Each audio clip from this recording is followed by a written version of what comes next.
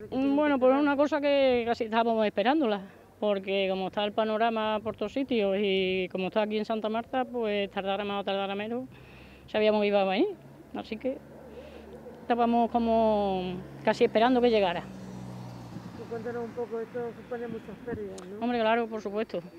Con las pérdidas que tenemos ya eh, por la pandemia, con los casos que hay aquí en Santa Marta, la gente que no sale y, y todo, pues la repercusión sigue a más, a más, a más.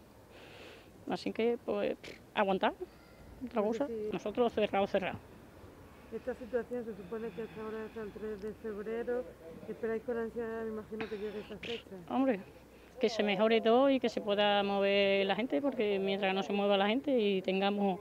De todas formas, en los bares le echan la culpa a los bares, pero la verdad que los bares, teniendo los aforos y las medidas de seguridad que hay, no sé el por qué, pero bueno, nos ha tocado y nos ha tocado.